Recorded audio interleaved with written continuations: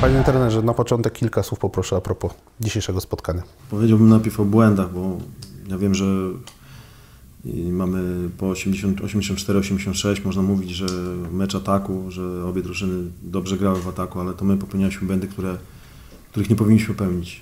Jeżeli nie, nie, nie mieliśmy nie pozwolić e, Kubie Dłoniakowi rzucać za trzy punkty, to pozwoliliśmy mu na oddanie siedmiu rzutów, w tym sześć trafił, więc e, mm, nie rozumiem że jeżeli mamy jakieś założenia, to jeden zawodnik raz po swojemu będzie bronił, drugi będzie po swojemu bronił, trzeci trzeci nie będzie wiedział, że tak bronimy. Chociaż yy, naprawdę bardzo dużo czasu na to poświęciliśmy i widzieliśmy, że Kuba Wdłoniek jest w dobrej formie i, yy, stąd nasze problemy. Nagle idziemy do, do jakiejś bezsensownej pomocy, z której dostajemy trójkę od Kaszów, yy, Kaszowskiego, więc Ciężko powiedzieć, bo to, są, to jest kilka akcji, i, i, po których tracimy punkty, tak? To jest 10 punktów, które, które jakbyśmy obronili, to byśmy ten mecz e, wygrali. Oczywiście mieliśmy problem e, z kontuzją Romka Enika, Dawid Sączewski też wypadł pod koniec drugiej kwarty i ta rotacja się zawężyła, szczególnie brakowało nam strzelców, którzy mogliby też nam pomóc w ofensywie. Widać poprawę gry w, w ataku. Rzucamy 84 punkty. To nie jest tak, że mamy już teraz nie wiem, 56 czy 60 punktów, więc gramy szybciej wszystko fajnie wyglądało do momentu kilku jakichś tam e, błędów, w których e, koszal nie wrócił, tak?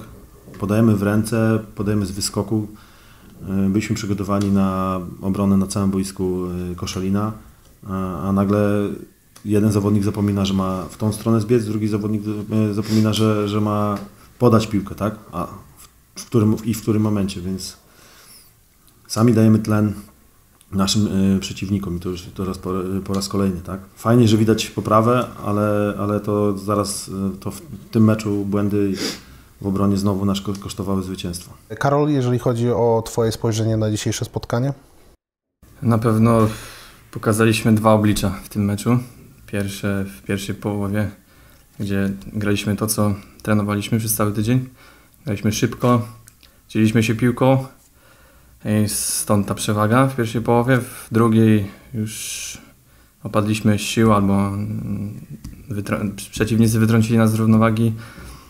Nie wiem co się wydarzyło, ale wróciły stare demony i, i zabrakło tutaj jakiejś intensywności. Przestaliśmy punktować i stąd, stąd ta porażka. No, nie może się takie coś przydarzyć. Panie trenerze, czy to nie jest mecz bardzo podobny do tego w Zgorzelcu, gdzie tak naprawdę prawie że cały mecz mamy pod kontrolą i w końcówce znowu mamy rzuty wolne i znowu nam przeciwnik zabiera ten mecz. No na pewno jest, y, jeśli chodzi o to, podobne, że byliśmy na prowadzeniu i, i wydawało się, że mamy mecz pod kontrolą, a no, ale Koszalin wrócił do tego meczu, tak? Wiedzieliśmy też, że ich najmocniejszą bronią są rzuty za trzy punkty. Y, wiedzieliśmy, kto może rzucać, a kogo możemy odpuścić. Y, na pewno nie, nie mogliśmy pozwolić na to, żeby Kuba Dłoniak oddał, oddał tyle rzutów za trzy punkty, tak? I, I, to uważam, że sporym problemem, bo to tak naprawdę jedna trójka mniej i mecz powinien być wygrany dla nas. Z rzutami wolnymi tak jest, że czasami się trafia, czasami się nie trafia. Popełniamy naprawdę masę głupich błędów, bym powiedział, bo gdzieś faule mm, bez piłki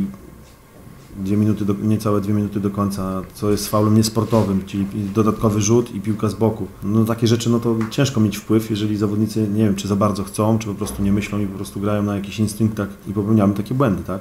Więc yy, tak jak mówię, przez te błędy dajemy tlen drużynie przeciwnej, która ma dodatkowe okazje do zdobycia punktów i, i zazwyczaj z tego korzystają. Mówi trener o przyczynach y, dzisiejszej porażki, jakby o całej tej genezie, skąd się ta porażka wzięła, czyli błędy, y, błędy zawodników. Jaką trener wypisze zawodnikom receptę na to, żeby w kolejnych meczach wygrać? Prawdopodobnie musimy, y, musimy postawić na tych graczy, którzy, którzy tych błędów nie popełniają, tak?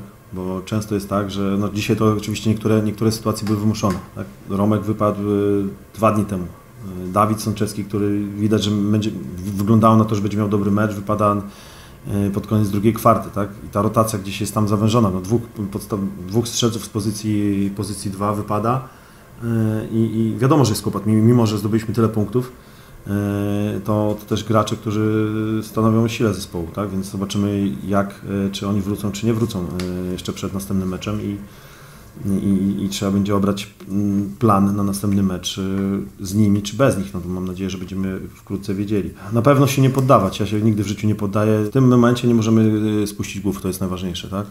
Ja wiem, że to jest y, mecz, który blisko przegraliśmy, czyli jednym czy dwoma punktami, ale kiedyś to też powtórzyłem, kiedyś też powiedziałem, przy- przykład z Gorzelca, który w tym sezonie przegrał kilka meczy w końcówce, znaczy wygrał raz z nami, dwa razy przegrał, więc to w sezonie się na pewno zdarzy z 3-4 mecze takie.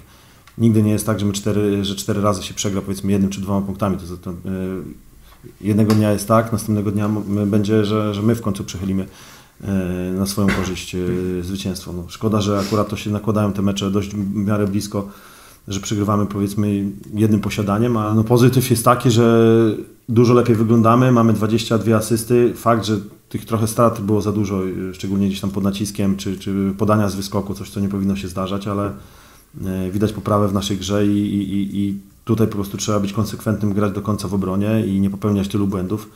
E, I, i, i- mówię, no już wydawałoby się, że, że to, to po tym zwycięstwie będziemy po prostu e, uśmiechnięci i będziemy wiedzieli, że idziemy w dobrym kierunku, ale no niestety przydarzyła się kolejna, kolejna przydarzyła się porażka w jednym posiadaniu, co, co jest, na pewno bardzo boli, ale musimy, e, musimy na pewno się nie poddawać i, e, i, i iść do przodu, tak? W niedzielę kolejny mecz, który musimy wygrać, bo uważam, że, trzeba powiedzieć wprost, że musimy wygrać i to nie narzucam presję na zawodników, tylko tak samo narzucam na siebie, tak? I trzeba znaleźć sposób, trzeba e, zrobić dobrą analizę gry Krosna i, i, i znaleźć, nawet pomóc tym zawodnikom, którzy są na boisku, żeby, żeby, żeby oni podejmowali te dobre decyzje, tak? Bo wiadomo, że jeden by gracz trafił trójkę, ten gracz by nie podał w ręce, czy coś takiego, e, czy taka jedna, czy druga sytuacja, bo tak samo mówimy o ataku, tak? Bo popełnialiśmy błędy też tak samo w ataku, więc tych błędów trochę się po prostu na, nałożyło. Mimo, że wynik, tak jak widać, bliski i na pewno bolesny, tak? Ale to musimy po prostu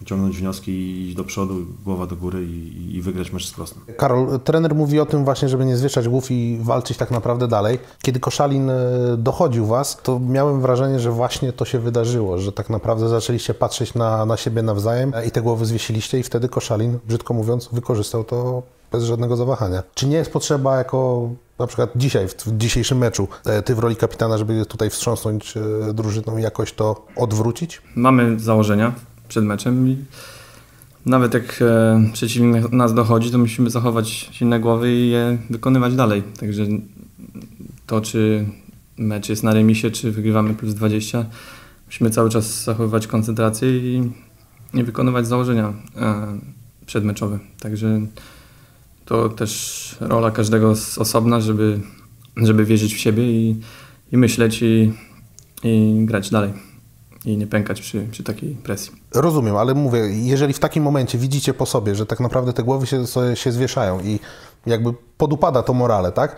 E, Czy nie wiem, czy nie brakuje takiej osoby, która tak naprawdę wstrząśnie wszystkimi i powie, słuchajcie, e, musimy wziąć się do roboty, bo zaczyna nam ten mecz odjeżdżać. Są takie osoby w drużynie, jesteśmy, jesteśmy drużyną i każdy się motywuje wzajemnie, się, jako drużyna się motywujemy, także myślę, że, że tego nie brakuje.